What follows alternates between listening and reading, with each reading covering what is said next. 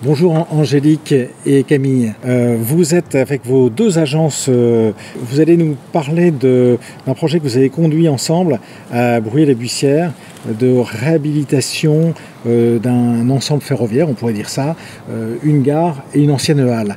Vous pouvez nous donner les éléments de contexte et comment vous avez appréhendé ce projet? Oui, tout à fait.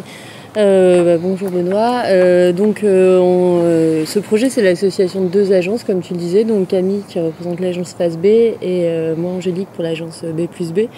Donc on avait mené candidature commune parce qu'on avait envie de travailler ensemble déjà et puis c'était l'idée de, rassurer les maîtrises d'ouvrage avec une plus grosse force de frappe parce que l'union de deux agences. Et puis on avait très envie d'innover et, de profiter de cette occasion. Donc voilà. C'est que la conception a été vraiment commune. On a fonctionné sous forme de workshop pour répondre à, cet appel d'offres. Donc le, projet se situe à, à la bussière Donc c'est une gare et sa halle de fret euh, qui se situe sur la place Delcourt dans la ZAC des Alouettes. Le projet prend place euh, dans le cadre de l'ANRU, donc c'est l'agence nationale de renouvellement urbain. Oui, ce qui était intéressant là, c'est qu'on euh, nous demandait de, renouveler des bâtiments qui existaient, alors que d'habitude ça s'attache surtout à renouveler des quartiers au niveau du logement.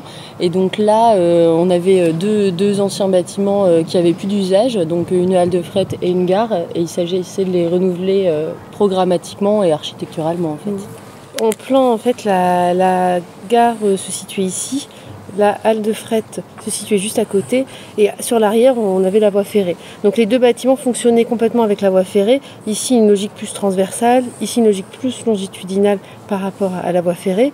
Aujourd'hui la voie ferrée ne fonctionne plus et la place Delcourt se situe devant. Donc tout l'enjeu c'était de retourner les projets pour qu'ils s'adressent à l'espace public.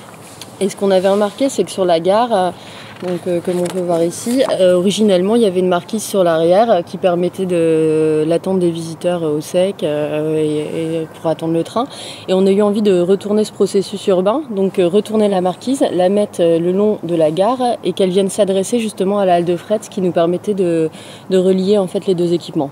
On voit sur sur cette image. Après, on va vous parler maintenant des deux bâtiments. Donc à la visite de site, on a été marqué par ces deux bâtiments c'était euh, une. Il y avait la, la, halle, elle est beaucoup plus caractéristique avec une structure en béton armé qui est très majestueuse et qui est euh, assez magnifique.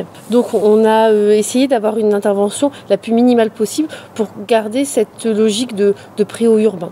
Donc on a intégré à l'intérieur des portes sectionnelles qui ne se voient absolument pas quand elles sont ouvertes et qui laissent l'espace complètement libre en créant une relation intérieure-extérieure libre aujourd'hui s'y trouve les, le marché et donc on retrouve cette logique de, d'espace productif et d'espace lié à l'alimentation euh, dans cette halle. Alors que la gare, elle est beaucoup plus euh, domestique. La gare aujourd'hui, elle a une programmation qui est plus culturelle, donc euh, pour les répétitions et pour faire des petits spectacles. Et puis ils ont fait évoluer aussi son usage parce qu'aujourd'hui, elle sert aussi de maison de quartier et de petite mairie. Et euh, il y a autre chose aussi qu'on a fait pour relier les deux bâtiments, c'est que la marquise, euh, comme on peut le voir sur, euh, à l'origine, elle, avait une pente vers, vers la ligne de chemin de fer. Et en fait, on a retourné cette pente aujourd'hui pour créer du lien avec le haut-vent de la halle de fret qui était juste à côté. Et ça nous permettait aussi urbainement et architecturalement de relier les deux bâtiments. Ah, vous nous avez parlé de la nouvelle accroche des volumes. On a parlé aussi des changements d'usage. Est-ce que vous pouvez nous dire un peu de, ce que vous avez conçu ou comment vous avez regardé la matérialité des deux bâtiments? Bah, en fait, la, gare, euh, c'était vraiment l'archétype de, la gare de campagne euh, dans une échelle domestique, en briques. Et quand on arrivait, elle était peinte. Et euh, nous, on a voulu vraiment qu'elle contraste avec les espaces publics alentours qui avaient été faits en pavage gris. Donc on lui a redonné sa couleur rouge avec un badigeon, ce qui permettait de vraiment la faire ressortir. Au niveau des, bétons, les bétons étaient quand même assez abîmés sur la, sur la halle existante. On a essayé de les rénover vraiment par touche pour retrouver, euh, pour conserver plutôt la force des, bétons euh, d'origine. C'est ce qu'on voit, c'est ce qu'on voit ici en intérieur et, en extérieur. Pour conclure, je pense qu'on a essayé de faire vraiment une, intervention qui soit très minimale et qui mette plus en valeur euh, les bâtiments que le geste architectural. Merci à vous deux.